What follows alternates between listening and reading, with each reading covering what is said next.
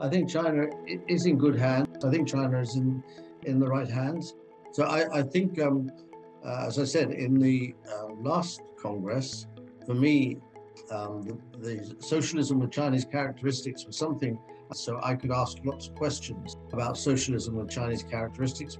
Um, I think in this next phase, we will again ask the questions um, about um, how do you have um, socialism and the market economy? How do these two different concepts of, uh, of development uh, work together uh, to produce for the Chinese people what they want and what they deserve?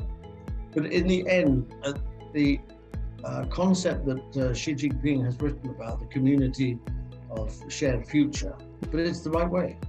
The nations of the world don't need to fight each other, to overpower each other, to take each other's markets, to take each other's resources, to take each other's water and mountains. The right way is for the world to deal with um, climate and health as a shared concern and work at it together. Uh, but I think China's doing that.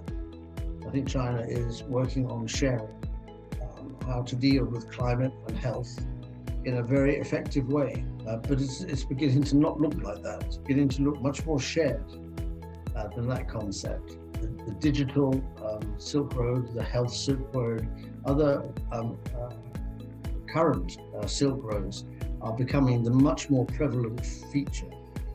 How do you do that and achieve common prosperity? I think it's, uh, first of all, in, in, the key concept that um, has come from, uh, from, um, from, the leadership, uh, which is that um, you don't level down, you level up. And uh, you don't slow, you don't stop the economic development of, of uh, rich and wealthy people. That isn't the way to achieve common prosperity.